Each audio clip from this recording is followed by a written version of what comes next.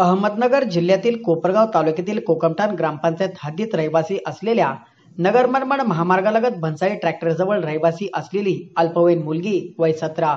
हिने नुकतीच आपल्या राहत्या घरात ओढणीच्या साह्याने गळपास घेऊन आत्महत्या केल्याची घटना उघड झाल्याच्या प्रकरणात आमच्या न्यूज चॅनलने व्यक्त केलेला संशय खरा निघाला असून यातील फरारी बहीण यातील प्रमुख आरोपी निघाली असून तिनेच आपले प्रेम प्रकरण उघड होऊ नये यासाठी सख्या बहिणीचा ओढणीच्या साह्याने खून केल्याची घटना उघड झाल्याने कोपरगाव तालुक्यात खळबळ उडाली आहे.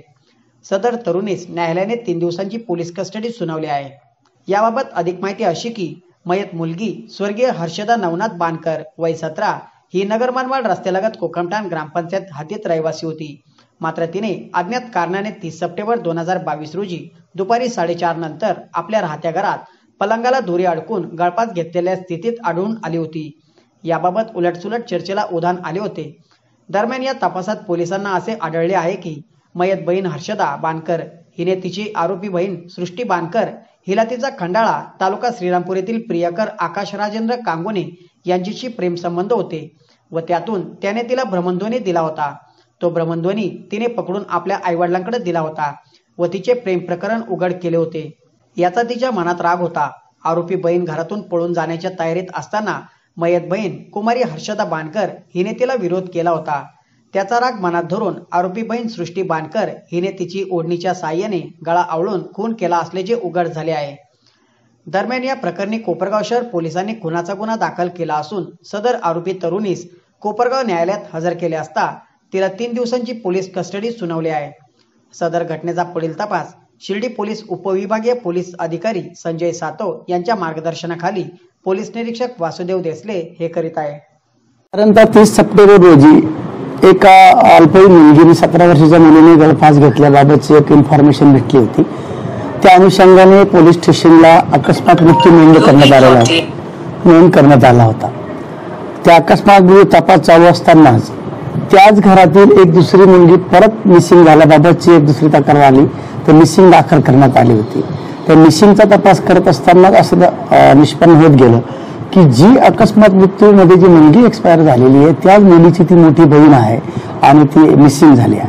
तर मिसिंगचा तपास आमचे हेड कॉन्स्टेबल पूर्ण करत असताना त्या दरम्यान ती शोधून शोधून मिळून आली. श्रीरामपूरवरनं तिला आम्ही घेतली ताब्यात. ती मिसिंग झाल्यामुळे आईवडिलांनी त्या गोष्टी विचारपूस केला की ज्या दिवशी ऍक्सिडेंटल डेथ झालेला आहे गडपास झाला नाही झाला त्याच दिवशी मुलगी ही त्या दिवसापासून मुलगी ही घराबाहेर आहे म्हणजे बाहेर गेलेली आहे. अशा स्थितीमध्ये तिने गळफास घेतला आणि या मुलीचं त्या ठिकाणी जाणे या सगळ्या गोष्टी तिच्या आईवडिलांना आणि आम्हाला देखील सगळ्या गोष्टींनी संशयास्पद वाटायला लागल्या.